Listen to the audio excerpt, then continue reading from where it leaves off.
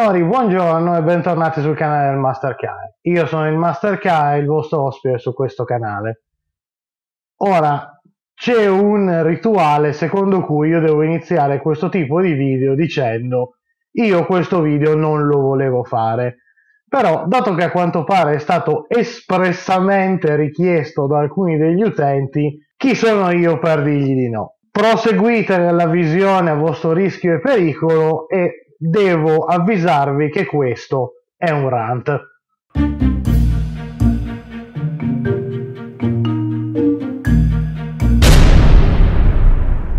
Il video non l'ho scritto, quindi probabilmente comincerò a divagare a caso. Io mi sono fatto una scaletta, ma tanto non riesco a seguirla, quindi lascerò completamente perdere. Oggi parliamo di come non potete gestire il tavolo tramite le regole, ma dovete gestirlo tramite i giocatori. Cosa vuol dire questo? Sento da sempre master che si lamentano di qualche tipo di comportamento da parte del loro tavolo e credono di poter risolvere dei comportamenti che a loro non piacciono influendo sulle regole del gioco che stanno utilizzando. Facciamo l'esempio per antonomasia, il classico giocatore che vuole portare un personaggio troppo forte al limite del nonsense, prendendo le regole non per come sono scritte, ma per come lui le interpreta. Fondamentalmente il giocatore che sta cercando di barare o anche semplicemente il giocatore che vuole avere il personaggio più forte possibile e non gli interessa assolutamente del fatto che i personaggi degli altri giocatori siano meno forti, che il personaggio è talmente forte da causare poi problemi di gestione al master o cose del genere. Ovviamente questo discorso vale anche al contrario, il giocatore che non ha voglia di mettersi a scriversi un personaggio, quindi mette le statistiche a caso, mette talenti a caso, prende abilità a caso. Il giocatore che vuole solo interpretare, quindi non si interessa neanche di leggersi le regole, o al contrario il giocatore ossessionato alle regole che durante il gioco non spiccica una parola se non per dichiarare le proprie azioni. Queste sono diciamo le quattro categorie di giocatori che non volete avere al tavolo per antonomasia.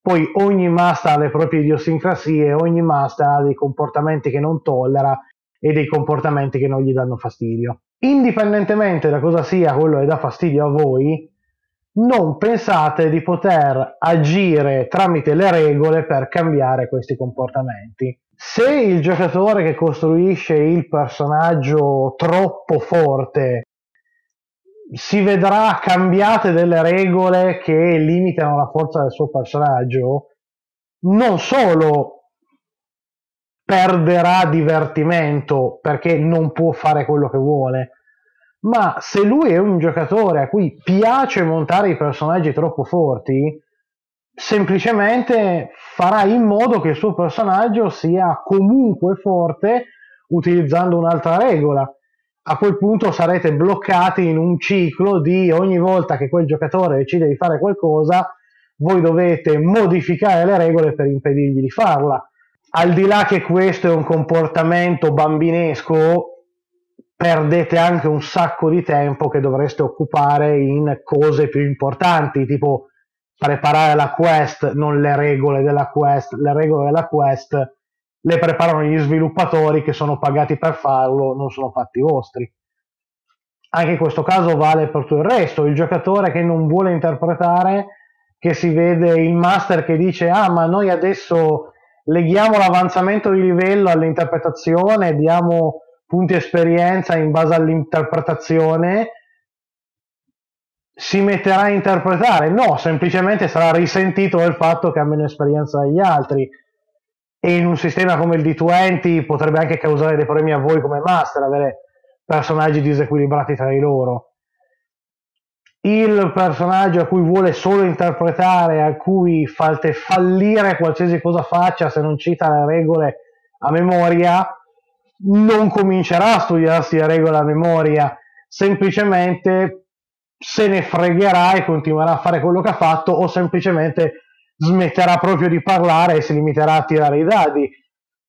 Non lo fa perché questo è il comportamento corretto secondo lui, lo fa perché è quello che piace a lui. Quindi se voi gli impedite di fare quello che gli piace, non si metterà a fare qualcos'altro.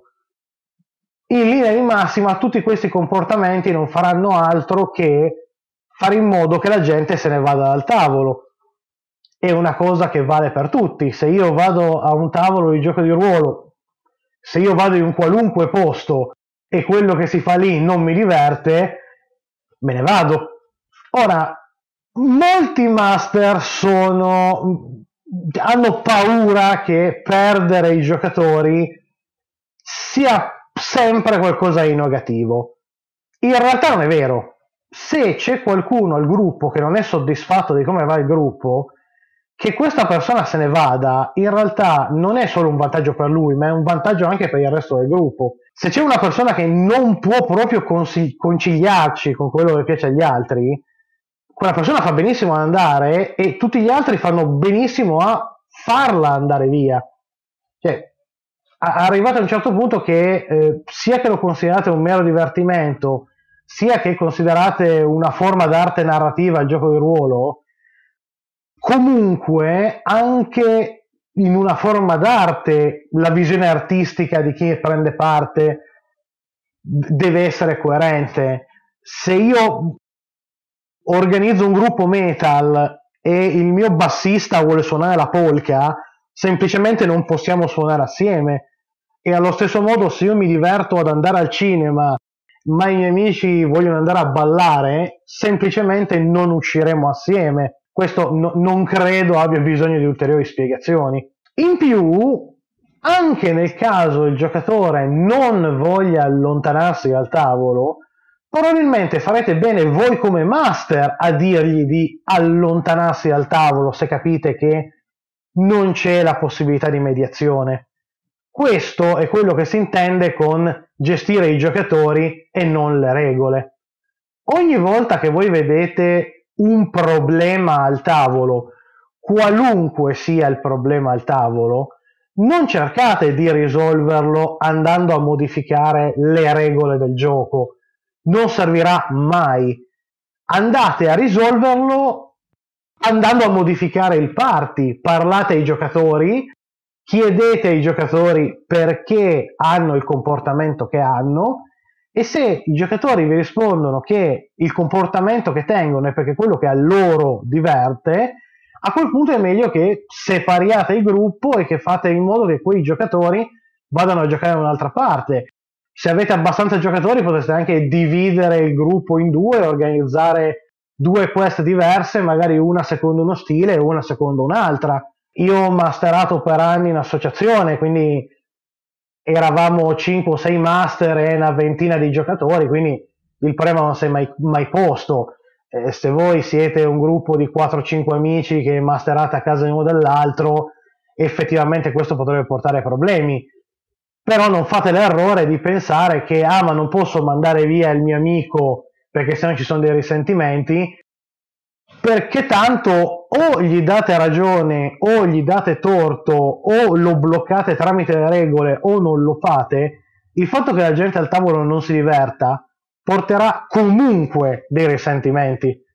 Se uno dei giocatori al tavolo tiene un comportamento non consono, la possibilità di chiudere le cose senza che qualcuno si arrabbi è comunque già saltata se provate a parlargli e spiegare chiaramente, a quel punto avrete la possibilità di, parlando da adulti, di chiarire le cose e spiegare che guarda il comportamento che tieni non può essere applicato alla mia quest, il comportamento che tieni personalmente mi infastidisce e allora può darsi che non litigherete, però litigherete non voglio far durare la cosa troppo, avevo detto già che questo sarebbe stato un rant, quindi vediamo di chiudere.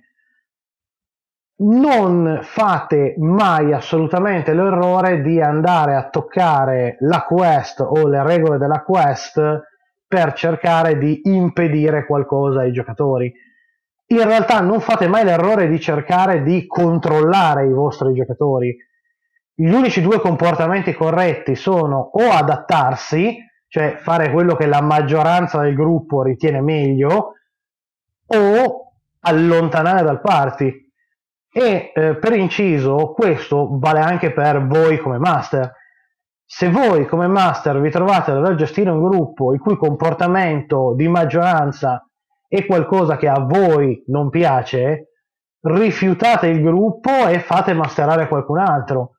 Se voi vi sarete costretti a scrivere una quest secondo dei canoni che a voi non piacciono, quella quest comunque sarà brutta perché vi annoierà farla, non vi piacerà farla, probabilmente vi infastidirete e se voi cominciate ad arrabbiarvi è molto probabile che sfogherete questa rabbia anche solo inconscia sul resto del tavolo. Quando si gioca bisogna essere in uno spirito di collaborazione e soprattutto in uno spirito di serenità.